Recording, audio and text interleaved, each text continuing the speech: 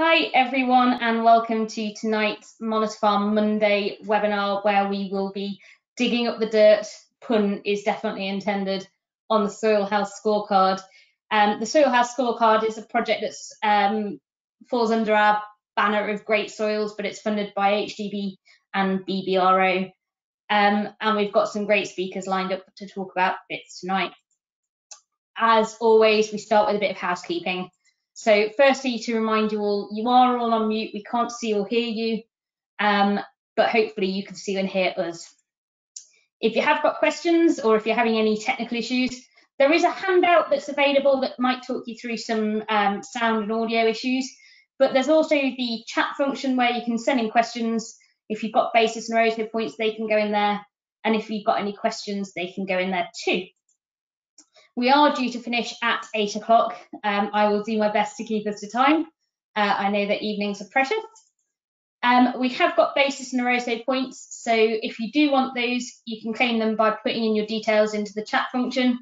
For basis, it's your name, uh, basis number and postcode, and NRoSO, we need the same. This is being recorded, so if you want to catch up with anything, if you miss anything, or if you have to dash off, don't panic. Um, the recording will be available on YouTube afterwards, so um, you can catch up there. And well, as always, uh, do give us a follow if you're on Twitter um, and keep up with what we're up to. So the agenda for tonight, um, we've got two great speakers. Henry is our Penrith Monitor farmer, and Liz, I'm sure many of you will have come across before, um, but is the head of farming systems research at NIAB and is going to be taking us through the Soil Health Scorecard. And that's all I really want to say tonight because um, let's face it, they're much more interesting than me. So we'll kick off with a bit about Penrith Monitor Farm from Henry.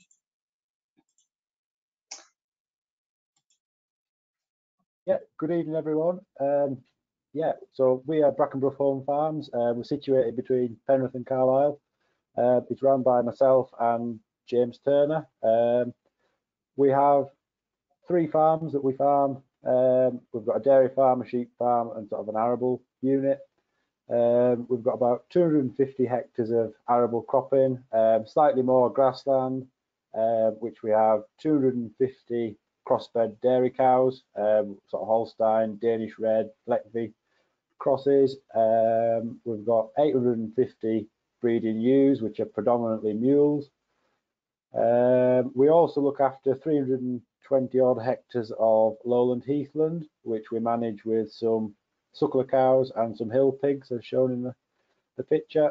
Uh, and we have quite an extensive higher level stewardship scheme, um, which encompasses the lowland heathland as well as some of the arable land. Next slide, please. This just shows a brief breakdown of last year's cropping. Um, we didn't set any real world records with yield at all. It was a pretty grim harvest. Um, the two pictures I've shown are sort of two of the more respectable crops.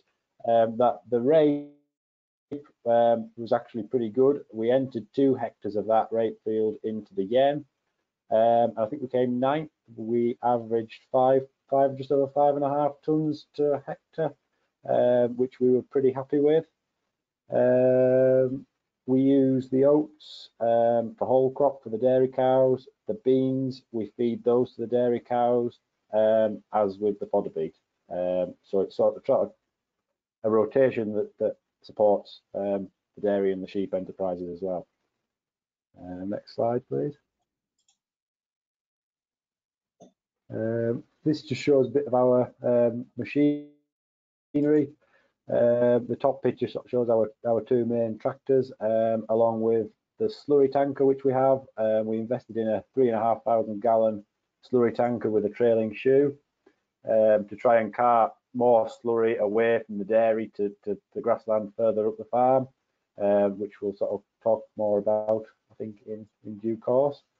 Um, our crop establishment um, is min-till where we can. Uh, we've bought a Horsch Pronto um, drill this year with, with a split um, seed and fertilizer tank. So we inject um, phosphate fertilizers into the seed bed. Um, we have in front of the Pronto into into stubbles, we go with a, an ASL five-legged subsoiler. Um, well, soil loosener, it, it doesn't go in that deep, just to take the surface compaction out. Um, we're trying to go min-till everywhere. Um, we have had to plough a little bit this year. Um, just with harvesting wheat in the middle of September to try and get a chit on those wheat volunteers to then drill winter barley the week after is just impossible. So we've had to plough for all our, our winter barley this year, unfortunately. Uh, but we are looking at how we can maybe expand the rotation a little bit to, to avoid the need to plough for winter barley. Um, so that's sort of something we're looking to develop. Um, I think that's about all I've got to say as an introduction, really. That's great, Henry. Um, just a quick question that's come in. What's your standard rotation? Um, so sort of winter barley, oilseed rape, wheat, um, and then either into beans or oats or and then then into wheat or straight back into winter barley. So it's it's usually either a, a one in three or a one in five. It sort of depends on on the fields and um, and how it fits. But that's sort of our rough rotation, and we're potentially looking to go to a, a one in six, more sort of fixed rotation. Um, so yeah, that's what we're doing. Brilliant. Thanks for that. That's a really nice overview. Um, and as part of the Monitor Farm programme, this winter you've undergone the soil health review, and Liz has come out to look at your farm. So um, I'm going to hand over to Liz, and she's going to talk about what she found at Penrith Monitor Farm. Cool. So welcome to everyone. Um, basically, what I do is, is something that actually anybody could do. There's, there's nothing very specialist about what I get up to in the implementation on the monitor farm. It's basically a tour with a spade. But the key aspect there is around um, thinking about where that tour should go. So usually before I go on to farm, I have a bit of a look at what soils information is available. And this is the UKSO site, um, the UK Soil Observatory site, which, which gives access to a range of soil resources, including the LandIS data, but also things like the underlying um, parent materials. And it did amuse me. So Eight Bank farmhouse, farmsteading is over here, and the farm, roughly speaking, operates in inside this circle here that um, when I looked this this site up before I went to visit I uh, discovered that it's got probably the least useful uh, information about its subsoils uh, possible. And that's because it's an underlying um, glacial material which are inherently variable. They they are um, called boulder clay for a reason. They're a mixture of everything from clay to silt to sand to gravel to boulders. And actually what we have here at, at Eight Bank is, is that smeared glacial material across the landscape. It is possible to zoom in a little bit and the soilscapes for England and Wales suggest that actually part of that farmed area um, is over more sandy materials with free draining acid loamy soils and that green area actually is slightly heavier. Still acid, but with some bases, but a mix here of loamy and clay soils. And, and in fact, that divide here with that green strip of those slightly heavier soils coming into the sand isn't what Henry expected us to find.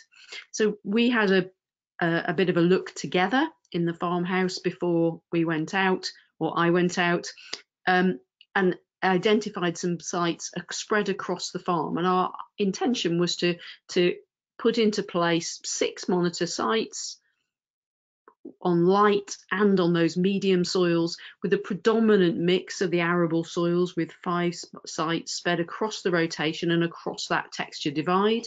But at the same time, we were really interested in having um, a comparison site.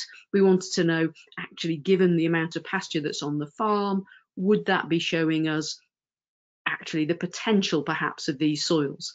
And Henry told me that there's pretty much a straight line. The, the wiggle is just my inability to draw a straight line on the computer. I think pretty much a straight line down the, the middle of the farm, following roughly speaking the line of the railway. Um, where it's it's light on that easterly side and, and slightly heavier on the um, west. It has to be said that Henry told me those were heavy soils. They're not. They're, they're pushing clay loam, not any heavier. So what did we do? Well, I did take Henry out to prove that actually I wasn't doing anything clever. And what we started off by doing was visiting the site closest to the farm. I'm not going to go into this in any great detail. Um, some of you will have will have looked, uh, joined us on the Northampton Monitor Farm tour and we talked about the process in a lot more detail.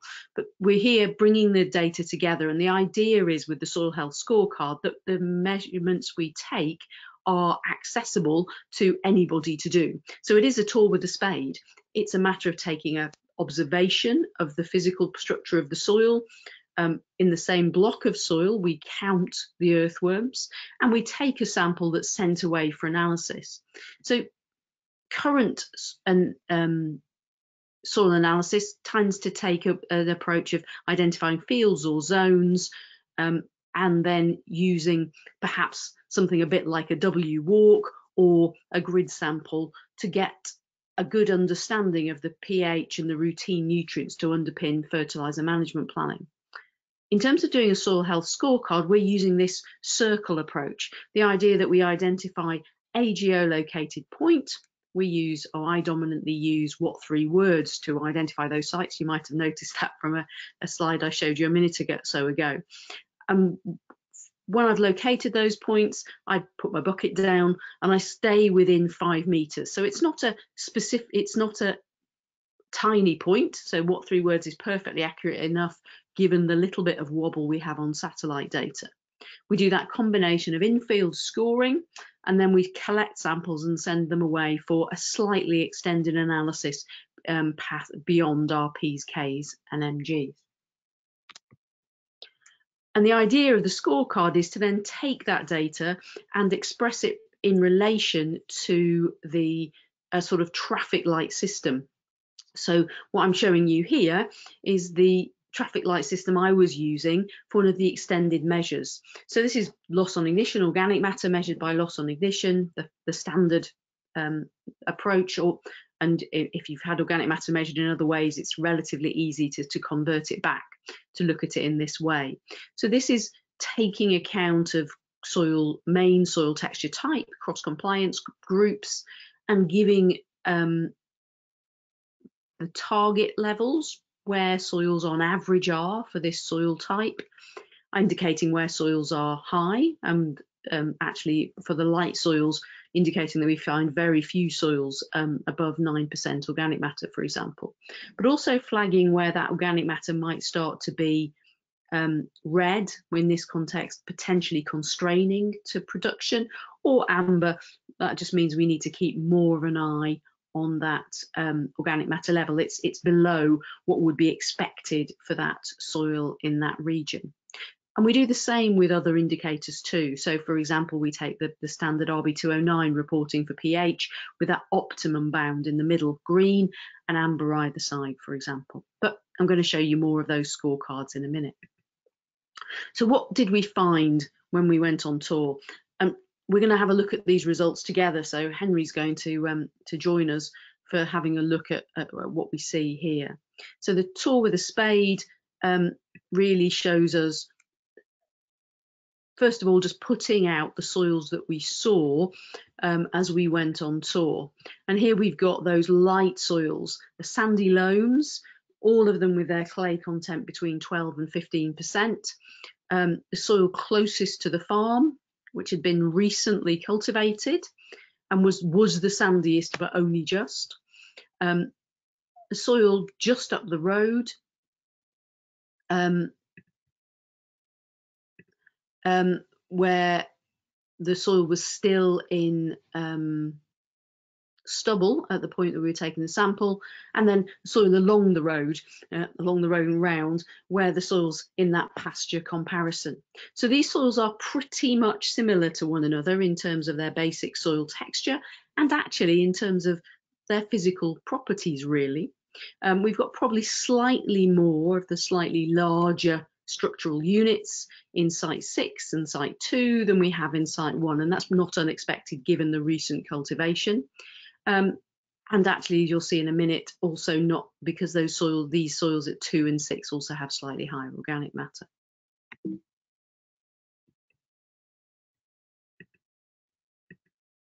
And then the soils at the other side, onto those more medium soils, we've got more differences here.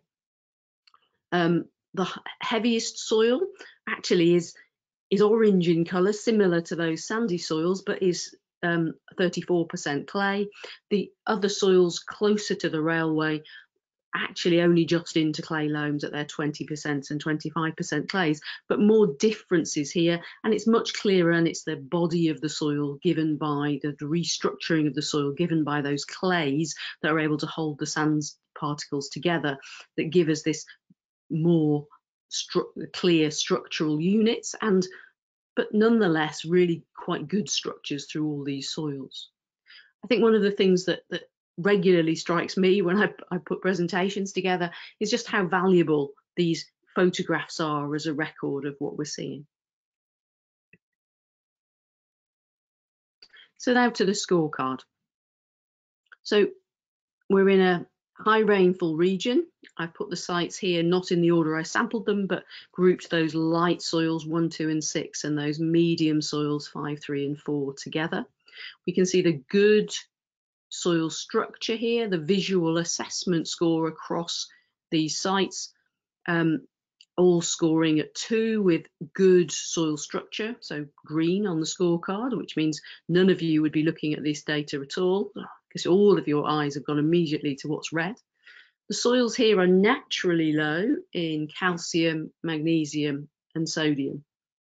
Um, not on the scorecard, but I, in, I help have calcium and sodium measured as a benchmark while I'm having um, the potassium and magnesium measured. It's the same extractant, so it's relatively cheap to also have calcium and um, sodium um, measured at the same time. And that's just a useful benchmark.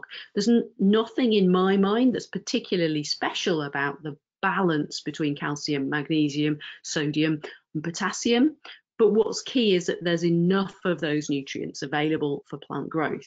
Calcium is particularly important to support rooting, and it's, so it's really useful to know whether soils are at an appropriate level. And on these soils, um, we would be needing to lime to maintain pH. And the lighter soils have lower buffering capacity. Higher sand content means less ability to hold on to the calcium and magnesium in the lime, and that means that they are more likely to need liming more often than the medium soils. So I'm just going to let Henry tell me about his liming policy. Um, well, it seems from those results to be to be looking at doing okay. Um, it, it's all handwritten actually. Um, it's all test. We generally try and test um, before we put winter barley in. We try and test them sort of every three years. Uh, we got everything tested before we were putting winter barley in this year, fully expecting to have a bit of liming to do, um, and they all came back as adequate. Um, so yeah, we tested quite a lot of grassland um, this summer, and did quite a bit of bit of lime on on some grassland. Um, so site six got lime in end of June time. Um, yeah, that's our policy really, and we have opted for calcium lime rather than mag lime recently. Um, but yeah, that's a point for discussion, I suppose. Yeah, I, I think the, the, mag mag here is is relatively low. It's obviously pretty good at, at site five, but otherwise um, relatively low on the site.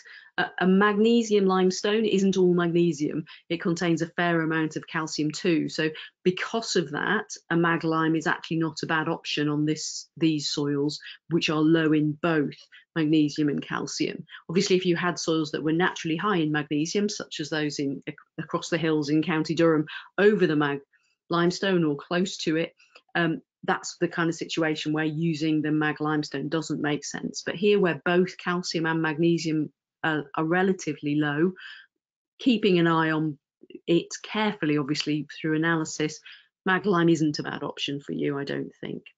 It's obviously not essential every time, but it's going to be useful in on that rotational basis. And especially if you're doing a good job, and it, as you say, it absolutely does look like you are at keeping your pH about right. So a small amount of lime, you know, is only going to give you a small amount of mag to just keep it where you want it to be.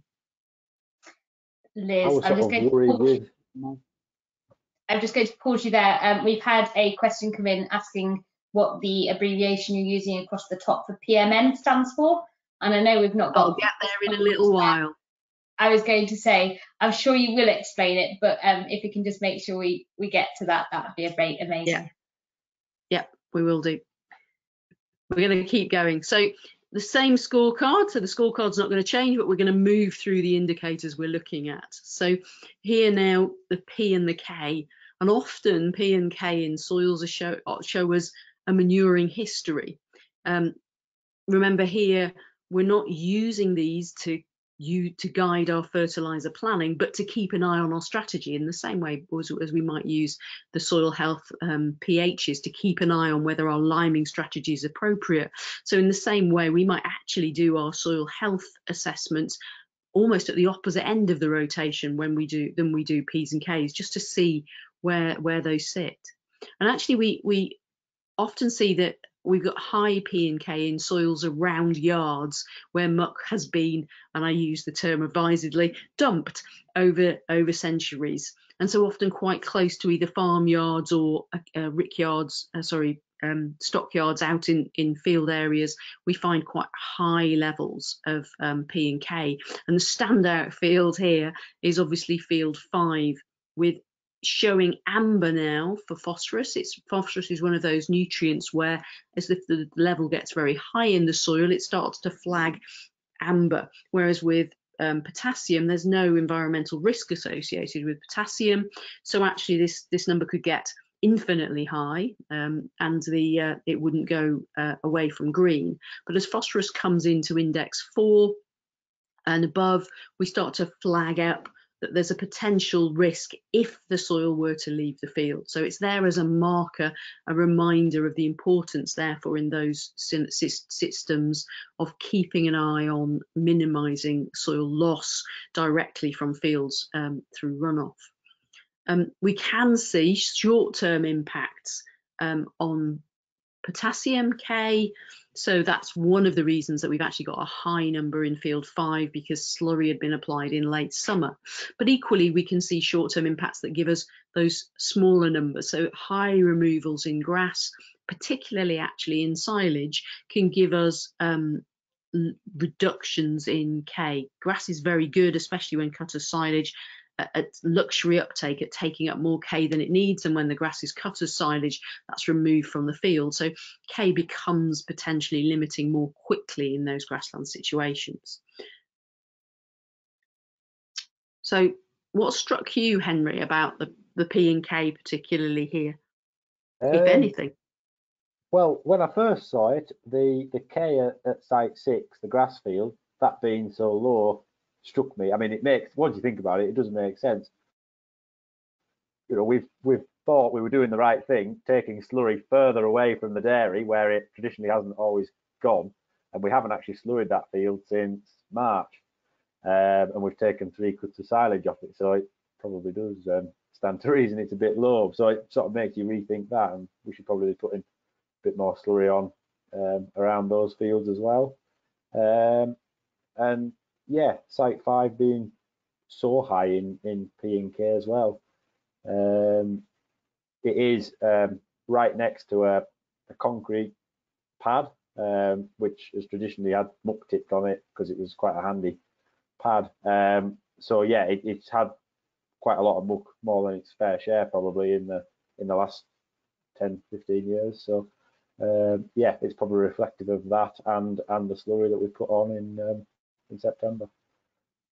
Yeah, I think I think your sites three and four are are those kind of sites that you were thinking to target, weren't they, with your um, move of slurry out from the farmyard. Uh, one and two, actually quite close to, to the eight bank site, um, have probably had slightly more um, slurry recently over recent years than and then those sites the other side of the railway. So th- Yeah, I think those yeah. two that, that The interesting thing about the P that was sort of thought as well, you know, that shows that they're broadly pretty good. Um, and yeah, you know, we probably don't need to be putting P on maybe. Um, but if, if you look at that, but what's in the soil, but we do definitely see a response from seedbed phosphate fertilizer. Um, so, you know, is there something wrong with the availability of the phosphate in the soil? Is there something we could do to improve that to avoid us needing to put put phosphate into the seedbed? I think a small amount of of targeted seed phosphate is is is often does show a response because those seedlings as they grow phosphorus is really slow to move in soils so actually the the plant roots as they reach out will find the the seed applied the slot applied phosphorus first and then we'll be able to respond to that much more effectively than this more diffuse amount of phosphorus in the soil around that phosphorus becomes really quite important then to support phosphorus uptake in the later growth phase of plants. So I think particularly um, where uh, you're trying to support quick establishment or support robust establishment, seedbed phosphorus and perhaps for some crops um, using DAP, such as on um, rape, can really support um, rapid establishment because of that combination of both nitrogen and phosphorus targeted together. So we've done physical, all pretty good. We've had a quick look at chemistry. Let's have a look at those biological indicators. So we're coming to this end where these indicators are much less well used or understood. And, and I've talked a little bit about organic matter here measured by loss on ignition. I'm going to mention those two others, PMN and CO2 burst. These are both indicators of biological activity. Within the project, we've, we've been trying them both. Um, they show similar patterns to each other, um, but they measure those things in slightly different ways. So PMN is a the initial stand for potentially mineralizable nitrogen. It's an assay that's done on fresh soil that looks at how much nitrogen is released in a controlled incubation in the laboratory. The CO2 burst does something similar but works with dried soils which are then re-wetted and we look and see how much CO2 is produced in that burst of activity that respond that, that results. Both have been shown over a number of years to be good indicators of things like microbial biomass, the sort of size and, and potential activity of the population in soil. They're not measuring what's actually happening in the soil at the time, both are potential measures. So they're there as activity indicators. I think, though, what we should always start with in our biological measures is the organic matter. Um, and in this context, I think it's really interesting to notice that the organic matter at this site, these sites, is relatively low. And perhaps we are going to be a little bit surprised to see that the dairy pasture is no better than um, field 13 in the arable rotation. Both sites um, have a regular cultivation policy, and that's because of the reseed policy associated with those, those dairy pastures. And so actually it's possible in the arable system here, field 13 doing it better than uh, field 1 to maintain um, good organic matter levels. Again, field, site 5, field 71, 72 on the medium side stands out. And that's probably too due to that long mucking history at that site making it stand out really quite distinctly from those slightly heavier soils um, sorry slightly lighter soils. And that's the um, at site three and four. I think it's important that on those medium soils to just note that the organic matter does track the clay content differences. So site three has the lowest clay content at 20%, site four 25, and site five um, 34% clay. But the long-term mucking history at site five is, is then giving us that, that added uplift. Um, the lighter soils are actually doing quite a good job under pasture or in field 13 at maintaining good levels of organic matter. But these aren't perfect levels of organic matter. They are green, but it's possible to achieve higher levels to go above that just making the average for the for the site and the year and actually a number of these soils are below average than we would expect in this region um, and on these light or medium soils we can also just have a quick look at those microbial um, indicators um, you can just have a look at site six and it's quite clear there that even though we've got the same organic matter in sites two and six, we've got much higher microbial activity in both measures, CO2 and PMN, um, in the grassland. And that's because the grassland is photosynthesizing and hence giving more food throughout the year. And so that's able to keep a larger population of soil organisms fed and happy. On the arable soils, the microbial activity dominantly tracks the organic matter with lower numbers where the organic matter is lower. It's not exactly true, and actually, we've got that stimulation of the CO2 burst on uh, site one, perhaps because of the most recent cultivation breaking open some of the um, aggregates and making the organic matter more available. But but let me shut up and let let Henry comment on, on what he noticed about those biological indicators. You've noticed I've not talked about earthworms. We'll come back to those. Uh, yeah, you pretty much hit the nail on the head. Um, lose the organic matter. Yeah, um, one or two. The, the point about the, the dairy pasture being very similar to um, field 13, uh, site 2, uh, that that did surprise me, um, particularly because the the grass fields been sown for five years, so you know it hasn't been been cultivated in that that time. Um, and you know I'm sort, sort of trialing to to get more grassland throughout the rotation um, into into arable fields to increase organic matter. Um, and look at that. Perhaps it's not the right thing. Perhaps we should be looking down the more, more herbal ley route that's more rather than going for a grass that's going to be silage three times a year to benefit the dairy, perhaps we should be looking at um, more herbal ley sort of to, to improve, improve soil organic matter more if, if grassland isn't making a massive difference. Um, I don't know what your thoughts on that would be. I think it's interesting, isn't it? Because I think we kind of almost have an assumption that the grassland will be better but a, a, intensive dairy pasture or especially one that's also you know cut for silage is probably doing quite a lot of the same things that a, an arable field is doing. It's only when we reduce the intensity, and that will happen on, in the dairy, in some other dairy pastures too, um, you know, where dry cows or young stock are raised. We, we've got different sorts of pastures at different sorts of intensity. So it may just be that, you know, this is one that, that is functioning at that almost arable like intensity or it might of course be something that's special about site 2 so uh, field 13 henry so it might be that actually it's something to do with a long-term history at field 13 perhaps that a bit like um, field 71 72 has had a reasonable amount of, of rough muck um, over the the years yeah, and so perhaps that's why we've yeah. got higher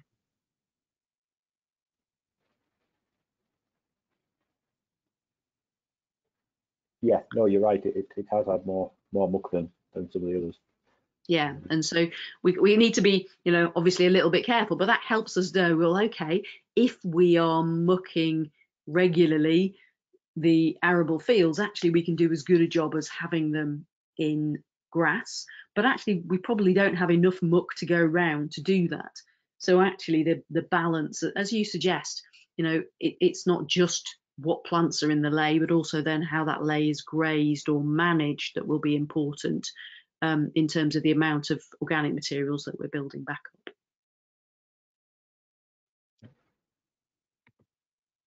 So in terms of organic matter, I mean, you, you never guess we, we thought we were going to talk about organic matter that building organic matter in soils is very much a balancing act it's it's a very simple balance, a bit like my bank balance, where the more I pay in, the chances are the more I'll accumulate. So actually, there is a very simple relationship um, between organic materials going in and soil organic matter, but not all soil materials added turn into soil organic matter.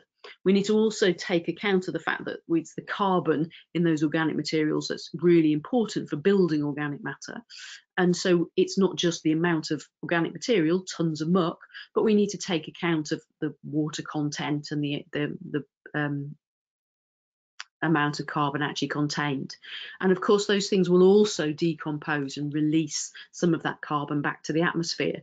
So it's also important how well stabilized in the soil the organic material as it breaks down becomes. And that stabilization is increased with the clay content of the soil. And we saw that with that change across the arable soils with the organic matter contents pretty much tracking the clay content of the soil or it's showing the same relationship that as clay contents were increasing so were organic matters. And that's because of the increased stabilization that clay gives a larger surface area and ability to to lock up that organic matter in soils. And we've talked already um, and I've learned the term rough muck on on this farm um, the, about the different sorts of organic matter. But just to give you that that simple graph that shows this is work that was done over a number of long-term sites has been published by uh, colleagues at ADAS showing that just simply as we increase the tons per hectare of carbon we add to the soil the change in the carbon stock increases. So at if we're adding relatively small amounts of carbon we'll see either a decline or no increase in car in organic matter and that would be the case in an arable rotation where uh, residues were being taken away and only roots and stubbles perhaps were going back in. As we go along to the right on the graph, we're seeing increasing organic matter additions in, in a whole range of materials in, across these um, studies. But it's a relatively simple relationship, but not a perfect one. So we can see here that there is quite a lot of wobble on this graph, so that um, some amendments tend to increase organic matter slightly more than others. And that's um, one of the things that we brought together in the um, recent, it's not that recent now, probably nearly two years ago, leaflet on organic matter for AHDB, um, ADAS and ourselves working together with also with the data coming from Rothamsted to look at how different types of organic materials might actually work in the system. So the benefit then of things like slurries and digestates in the system is largely to supply those quantities of P and particularly K and other nutrients into the system. As liquids, they contain relatively little bulky carbon. So actually they have only a small improvement in terms of soil biology or soil structure.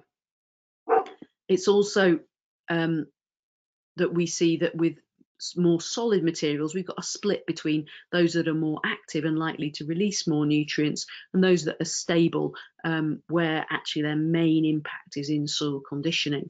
That, that table's there for you um, in the in one of the handouts in the soil organic matter leaflet. But it, it it's one of those things I think that's really important to, to think through when we're thinking about using organic materials from dairies and from other livestock systems and how they're deployed and used on the farm, targeting both nutrients and um, soil stabilizing.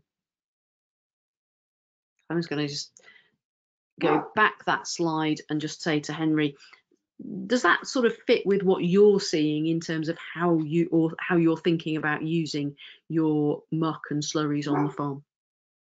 Um, yeah, pretty much. Um, yeah, we're trying to, get the, the P and in through through the slurry. Um, we've got, got lots of slurry, too much at this time of year. Um, but yeah, and we we we don't really have enough muck, or we'd, we'd always like more muck. Um, um, and yeah, it, it, pretty much fits with what we're doing. Um, but if we could tip the farmyard manure slurry balance in the favour of farmyard manure, um, that would that would help us. But uh, we can't really do a lot about that. No, I guess one of the things that some dairies are doing is looking at um, at separating slurry a bit, isn't it, so that they can and have those liquids in a in a form that they can use in a more targeted way, but that they're producing more solids. But that's quite a big capital investment to move to changing that sort of management of slurry. So let's go to earthworms. The one thing we haven't talked about, but important that what we've got there is a count of earthworms and we need to recognize that what we've actually got in the soil are different sorts of earthworms so we've got three main groups but actually this diagram suggests shows us that there are there's one group there's a group that that play in the middle too so the earthworms that we are kind of grow up with thinking about as earthworms, the ones that come to the surface and cast and create their middens. Just two species in the UK that do that. Those earthworms can become, um, in, in some circumstances, um, the length of small snakes, but sort of um, 30 centimeters or so is not necessarily uncommon, but they can also be quite short. The thing that distinguishes them is their thickness. So we can have um, they're, they're the sort of thickness of ball, a ballpoint pen, those anecic or deep burrowing earthworms. And they basically um, make those deep vertical burrows, some um, side movement, but only to, to gallery and to create spaces for themselves to deposit their cocoon or to shelter. They, they wrap themselves up and shelter from harsh conditions such as uh, drought or um, they, they try and move into those galleries or to the surface when something like a, a salty fertilizer or a slurry is applied.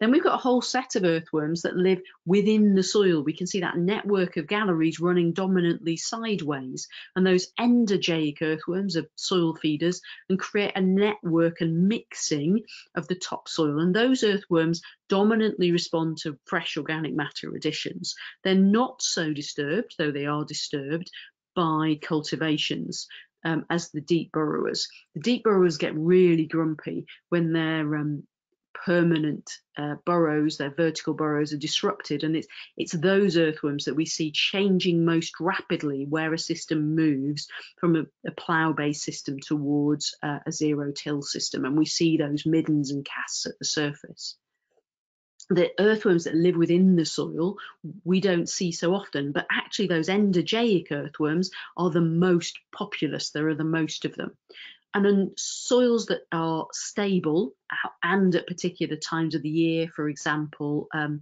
just after harvest when there's a lot of surface litter we'll also see um, these epigeic or epiendos, the ones that live just in the soil, the litter dwellers. And those are the earthworms that if we were we were bringing in compost worms those are the um, the earthworms that, that live in compost heaps. So what about you though some of you will have noticed the numbers about earthworms um, as we went through already. And that's one a bit like the organic matter one of those areas where it looks like these numbers are quite low. Uh, just to show that we really did find earthworms though. These and these are from the arable an arable field. These aren't the grassland earthworms. So we've got the very long here deep burrowing earthworm with its paddle tail and some of the other um, smaller uh, and endogaeic earthworms that we saw too and a couple of the epigeic surface um, litter dwellers there so there are lots of interacting factors that drive our earthworm numbers and so it can be really difficult to assume or interpret anything just from earthworm numbers. It's why it's important to always take them into context. So we have higher numbers here in our spade full of soil in the grassland. But you'll notice that the grassland, it's not quite the highest of the ones we measured, but it, of the light soils, it's by far and away the highest, but it's coloured in amber. And that's because although um, we allow the green flag to show green at eight earthworms in a spade full of soil. For arable soils, actually the number is much higher in grasslands. So we have a separate indicator colour for grassland and actually the grassland indicator also asks for there to be more diversity of earthworms too. In general, we tend to see fewer earthworms in lighter soils. Um, but this isn't currently shown up in the indicator colours. So actually, seven earthworms in a block of soil on a light soil, such as that in field 18, uh, 13, is a really good number for uh, a very light soil. Um, recently cultivated soils will always tend to have fewer. They've been disturbed and disrupted. So sites one, three and four here had had relatively recent cultivations. And the numbers of earthworms also respond to the additions of, well, earthworm food. So manures and growing plants. So particularly here, site six and five showing those um, additions. And site five as a sort of site, uh, it was mentioned earlier, that had had slurry applied um, in the late summer, but actually hadn't been cultivated. So um, it had been due to be cultivated for wheat, but hadn't been. And so actually we found, found in this particular set of sample the highest number of earthworms there. We also by eye might say, well, earthworms also sort of track organic matter, but it's really tricky to unpick perhaps some of these interactions some of the time. And I know, Henry, you were, we dug both site one, where we hardly found any earthworms, and site five, where we found the most together. So you got a sense of actually the difference between your soils in terms of earthworms. Yeah, absolutely. It was it was really quite refreshing to see Site Five, um, see how many there, there was and and the range of them as well. Um, you know, there, there, were yeah all, all different um, species like you like you mentioned, and um, yeah, it was good good to see them. Um, and I'd never really, I always my ignorance, I just thought an earthworm's an earthworm. You know, I didn't realise they were so so complicated. Um, and it, it's something that I could do much more often, just get a spade and have a dig in and at different times um, in the cropping cycles and, and see what's going on with them really. And um, yeah, no, it was, it was, it was really good to see it really. Yeah, we, we haven't really talked about the, the structure score that you obviously would do at the same time as you were doing the earthworms. It isn't just about the score, it's also just, a, it's, it's really getting an eye for how the soil looks. Um, how did you I've shown the photos a, a, while ago and I didn't let you interrupt when I showed those. How did you find the looking at the soil?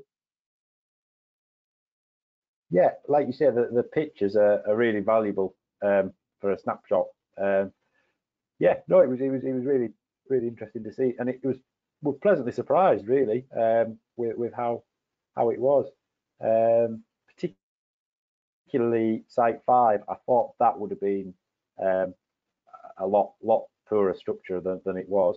Um, it had quite a hard winter. Um, yeah, and it, it's, it's actually you did you made it so easy to do that it, it is something that there's no excuse not to just walk around a field with a spade when you go in and and do some of these digging. Um, yeah, and I think if you can find the right place to do it regularly in the rotation, so you know you maybe always do it after and it, it, can be after whatever. It just comes round regularly and becomes then a useful check because part of the problem and we're looking at looking at our earthworms here is having sites with different cultivations recently or different mucks recently means it's difficult to compare between them apart from just to say oh look they're all different to each other. But finding that regular place in the rotation where you look at the physical and the chemical by sending a sample away together can be really useful So that's me and Henry, though I'm sure Michelle's stacking up some questions for us. Um, we've got um, a number of um, resources attached to the webinar today. Um, I'm flagging up two particularly here, one for grassland and one for um, arable systems. The principles of soil management is relatively new. Um, it was it's been developed particularly as part of the project that I'm involved in to give some of those underpinning principles.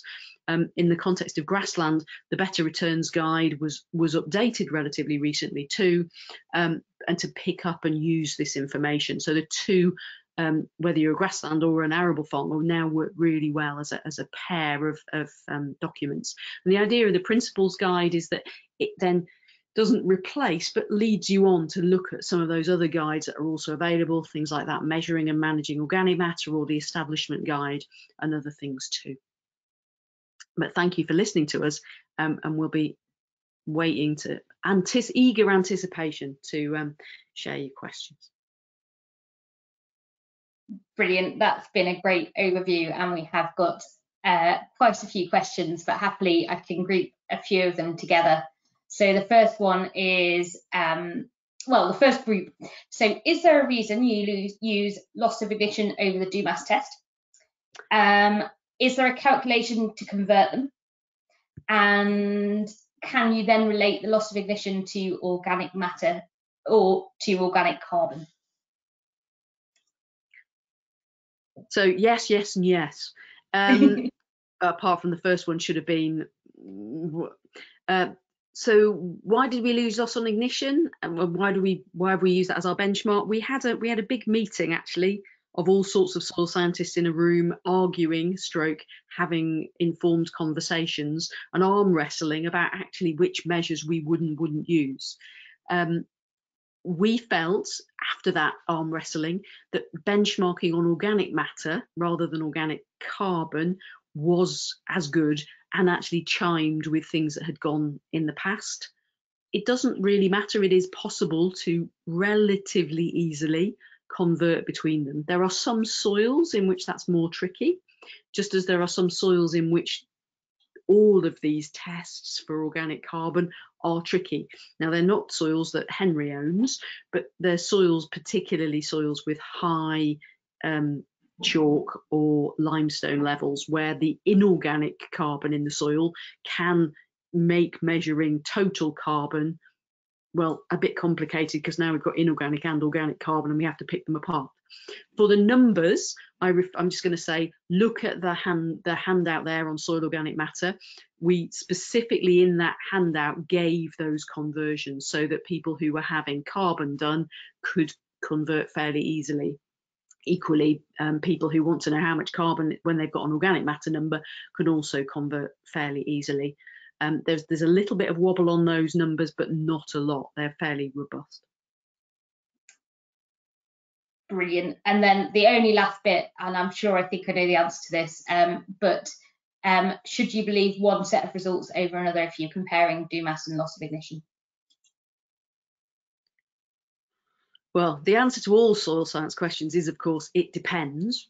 Um, you will get slightly different answers. So it, it really does depend there. If I've taken the same bag of soil and split it and sent it off for the two tests, then actually they should give me the same relationship. I'd be really surprised if they didn't, unless I was in one of those really complicated soils where I need to do the unpicking. I would choose one method and stick with it. Your your preferred lab will mm. do what usually do one or the other. It doesn't matter hugely for on-farm decision making about organic matter which one you use. If you were to be thinking about moving towards some sort of carbon offsetting scheme for British Airways or Dyson or anybody else who might want some carbon offsetting, then the way carbon is measured will become much more important. But that's not just about the test, but also about how many samples are taken and a lot more things. So for basic farm, is my organic matter about where I expect it to be? It doesn't matter which of those tests you use, but be consistent um, and, and use them robustly with good sampling. Brilliant. And you touched on the colouring um, and the traffic light system, um, but we've had a question come in that's what's the basis for deciding what's good, bad, or in between, and does it change depending on the soil? And also linked to that is a question about whether people can get hold of where those benchmarks essentially are. Yeah, so the, the initial benchmarking report, um, which was the result of lots of soil scientists arm wrestling, and to choose the indicators and then decide on what we were happy with as the benchmarks um, was project two of the soil biology and soil health program so that report was published in 2018 and is available. Through the remainder of the soil biology and soil health project we're testing those on farm. I commented i think in relation to earthworms that currently um, those traffic lights don't take account of soil type I think one of the things we're half thinking from the data we're getting is that we will do something to adjust those benchmarks for the lighter soils because it, it, it otherwise lighter soils always look like they're really bad for earthworms and, and actually a light soil with a low number is doing pretty well. So we think we're going to adjust that one. Um, we've also been looking very carefully as part of the project and a very recent release, I think only last week, um, is the new benchmarks for the CO2 burst test in the UK that um, NRM worked with us to develop but are available and benchmarks for PMN. So all of those benchmarks are being made available and publicly available uh, so that they can be used um, as part of anybody's interpretation. Um, but we will be releasing a new set or the tidied up final set, I guess, um, at the end of the project in about a year's time. Brilliant. I'm going to give AHD a cheeky plug here and say there's various bits and there's the case studies available on the GREATSoils website. Um, so we're going to move on to worms now. Um, so you looked at the worm counts. Um, what's the best time of year to do a worm count and what's the volume of soil you measure the worms in? So the benchmark is set for a standard spade.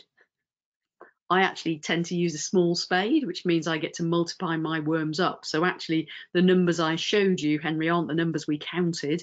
They're the numbers in our small spade multiplied up in, into that they're the equivalent volume of that larger spade. So a, a standard spade is 20 by 20 by a depth of 25 or thereabouts actually worms tend to associate with roots and topsoil. So the depth isn't quite so important as just making sure you've got a spade full of soil to have a proper look at.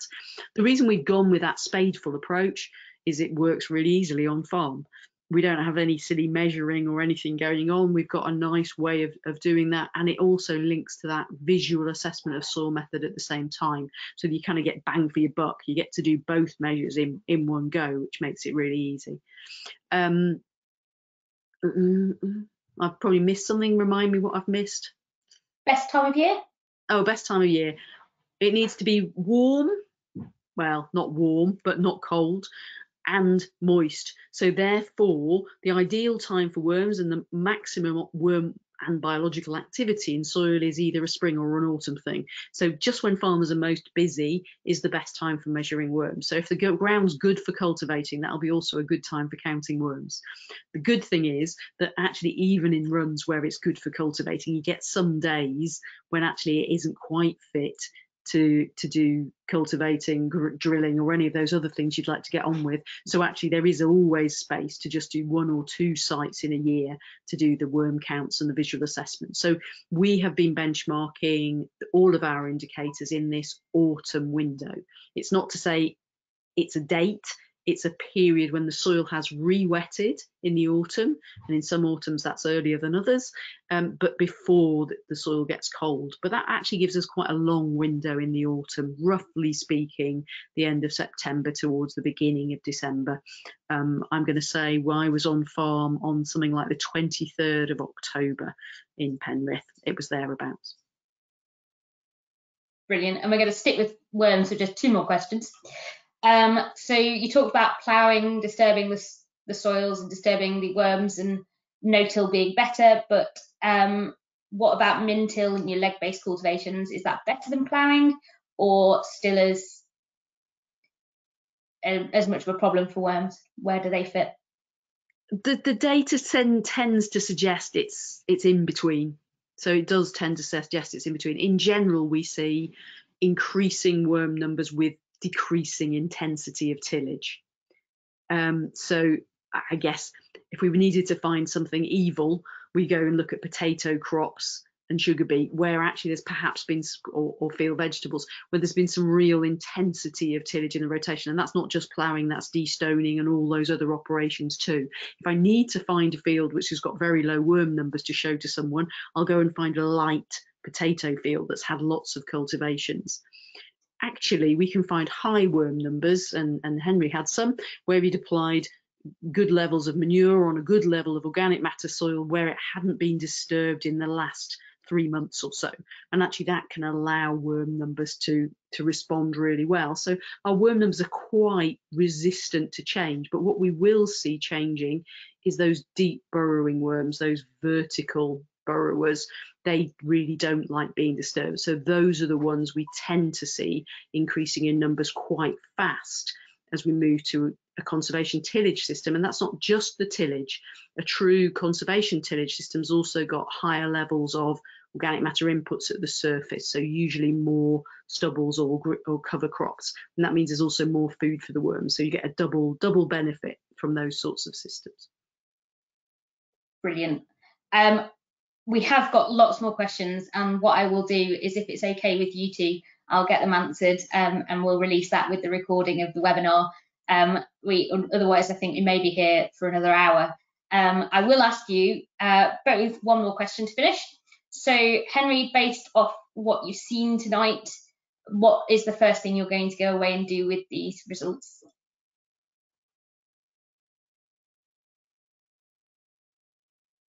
Um, well, first, first thing, probably think about um, our slurry and muck again.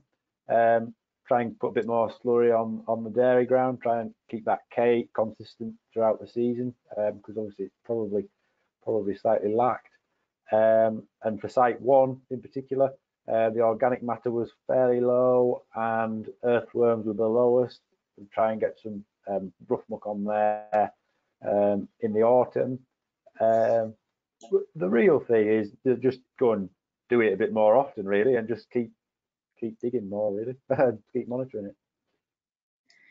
Brilliant. And uh, Liz will know this because I've done a few meetings with Liz, and I think I always pose her this question.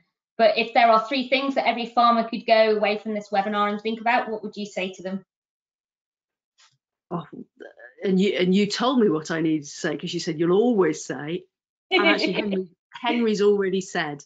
Actually, this is easy to do. If you're a farmer, have a spade, not just one, but try and have a spade in every vehicle on the farm. Make it easy for yourself to when you see something to get out and have a look. I wonder why that's not doing that quite right, or I wonder why.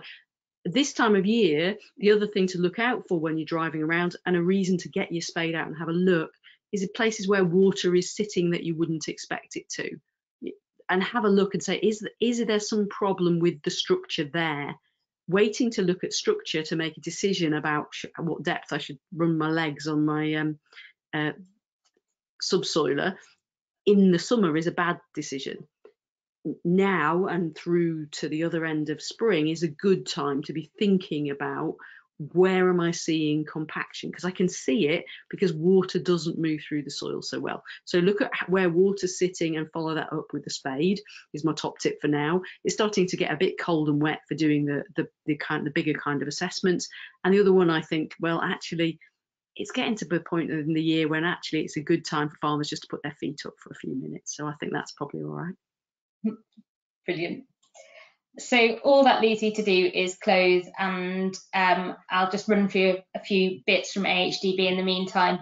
Um, so we are still funding research projects related to the soil health scorecard um, and um, soil biology and soil health and those can be found on our website.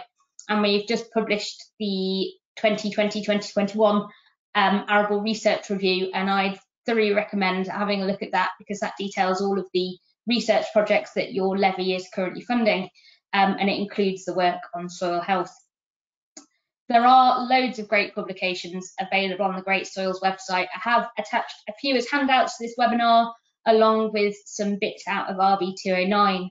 Um, they are all available in hard copy as well. So if you'd like to be sent hard copies of, of publications, just um, drop us an email um, and you can download them from this webinar.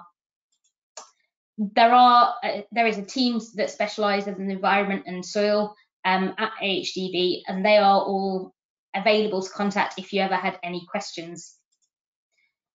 We have got work going on at both of the strategic farms. The strategic farm east is concentrated um, looking at cover crops and their effect um, in preventing leaching across the rotation. And Strategic Farm West is looking at the effect of depth of cultivations. Um, both of them quite interesting trials and um, were talked about during our Strategic Farm Week a couple of weeks ago, and those are all available on our, on our website. Um, this is a nice layout. We've heard from the Penrith Monitor Farm, Henry, tonight, um, but there are monitor farms spread across the country. Um, and if you wanted to get involved with that program, hopefully we'll be going back to meetings in the not too distant future. Um, and you can find out where your local monitor farm is. On that note, we are currently recruiting for a new strategic cereal farm, um, either in the north or the south. So if you happen to be in one of the counties highlighted um, and you'd like to get involved at putting the research into practice, on a farm scale, um, get in touch. There is a recruitment site open, but if you want to just email, please feel free. Um, this is our last Monitor Farm Monday webinar before Christmas, um, but they restart again on the 11th of January, um, starting to think about ELMS. Um, and you can get involved with any of those free to attend webinars. Uh, this is your Arable Knowledge Exchange team. Um, they, we're here for you guys. Um, if you have any queries or want any more information about various things, we'll all happily get back to you um, either over the phone or via email. So that leads me to close. Um, thank you for attending. Um, this webinar will close and when you leave, you'll be taken directly to a survey. If you can fill it out, please do. It helps us with planning for the future and understanding how we can make things better. This webinar has been recorded and the recording will be available on YouTube in the next couple of days if you want to watch it back. Basis and NRoSO points will be available. Hopefully, if you haven't already, um, you can send in your details in the chat. But if you miss out, you can always just pop them on an email to me and I'll sort those out. If you do have any follow-up questions, I have said we'll try and publish all the, of the remaining questions alongside the video, but you can get in contact with either me, Henry, or Elizabeth using the details as shown. All that leaves me to say is a great big thank you to um, Elizabeth and Henry for being involved tonight. It's been great to hear about what's been going on at Penrith and how other farmers can get involved and utilise um, the soil health scorecard. Uh, thank you for the audience who are attending and hope you might not realise, but Christian has been in the background keeping us on track the whole way through. Um, so um, thank you to him as well. And from all of us at AHDB, I just want to wish you all a very Merry Christmas and a Happy New Year. And we hope to see you again in the future.